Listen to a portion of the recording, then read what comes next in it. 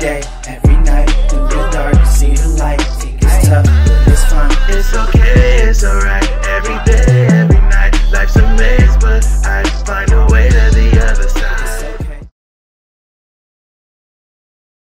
Alright, we got this set up now.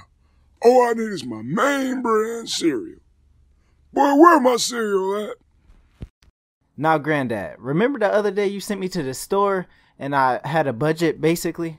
Yeah, and Well, I think you undercalculated how much everything was gonna cost. boy, I've been grocery shopping before you was even thought of. I know how to count. Yeah, but prices go up, Granddad. Now, did you get my cereal? Um, I got something.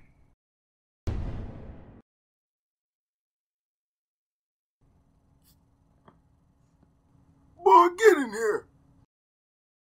What's wrong? Fruit Lips. You bought me some doggone Fruit Lips. Generic brand for my reaction video. I ain't have enough left, so I had to think smart. I mean, don't nobody gotta know it's a generic brand, Granddad. Boy, I know, but I ain't eating no cereal under the name of Fruit Lips. If you don't hop your butt up out of here before I turn your lip into a banana.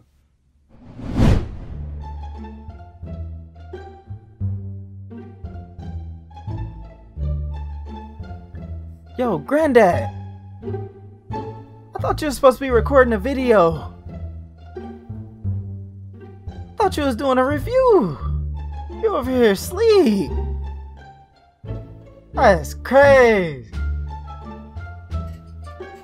Is the camera still on? You're supposed to be recording a video. The video recording you.